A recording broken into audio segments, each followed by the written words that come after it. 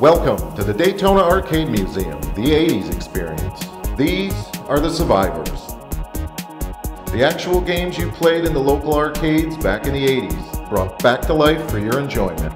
Featuring over 120 full-size arcade and pinball machines. And don't forget our real New York pizza, craft beer, and wine bar. And if you're into ticket and prize games, there's a lobby arcade where you can play some of our classic prize games. Admission includes all-day free play. The Daytona Arcade Museum, a family fun-filled time you'll remember.